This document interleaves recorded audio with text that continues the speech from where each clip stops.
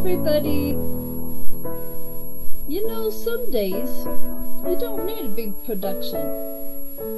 As far as a card reading, you just want a simple, straight to the point message from Spirit. A little bit of guidance to start your day out with, or maybe to end your day mm. with. And that's what this pick a card is. These are short and sweet cards from the Wild Offering Oracle there are going to be 10 to choose from and let me just say that this particular deck does have the slant toward God as the higher power. If you're not a person that believes in God, then please just substitute whatever word resonates with you. Universe, I, I'm sure there are a million options and I'm not aware of them all, but I know that for some people that may be somewhat off-putting and so I wanted to tell you now that the cards do refer to God often from what I've seen so far. If you chose card 1, your card is Doubt.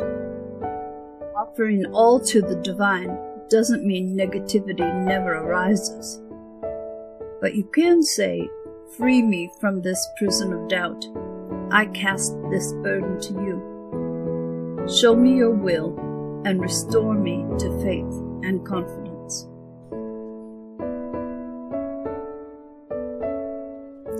Card 2. Your card is positivity. If you can find even one thing to be grateful for, it will restore you to the light. Please, dear God, let me always feel gratitude for something, even a tiny thing, in even the hardest situations.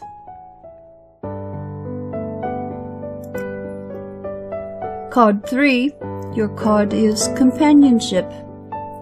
When you fully bless and embrace your aloneness, you're ready for the ones who are meant to be with you. May I welcome this solitude, knowing it will open the way for all healthy relationships.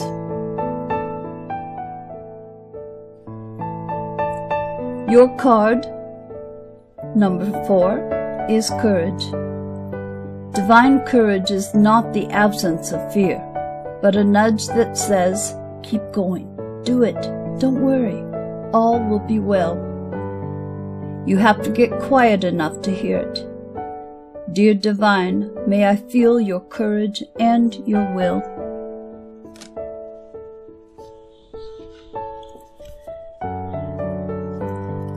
Card 5. Your card is Relationship.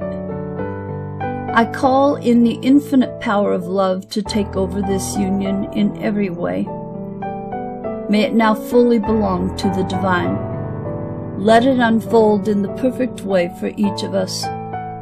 I needn't fear letting go of control. My needs are always abundantly met.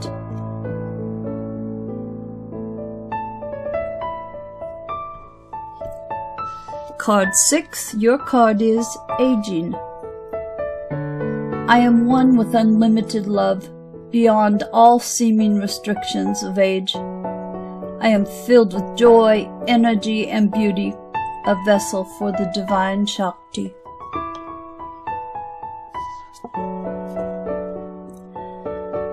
Number seven, your card is true love.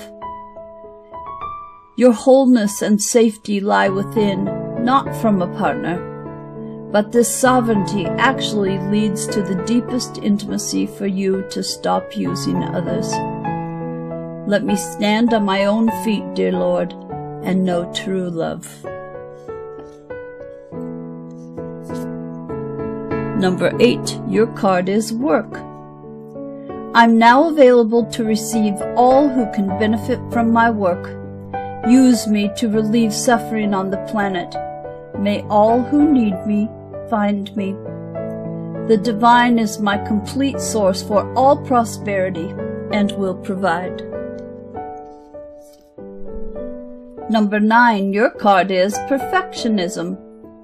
Permission to make mistakes is so freeing. It's the root of creativity and change. Allow me, Divine, to make as many mistakes as I need. Free me from the prison of perfectionism. And number 10, your card is self-sufficiency. The ultimate self-sufficiency is relying on God. It doesn't mean hiding in a cave and saying, I don't need people. Instead, it's saying, God is my source, and I am willing to receive all the help, love, and support that wants to come. And that's it for your cards. If you enjoyed this quick and efficient way of having a card pull, I'd appreciate a thumbs up on the video or a comment. If you'd like to subscribe, there's a little pink square at the bottom right. I appreciate you all very much. Take care of yourselves.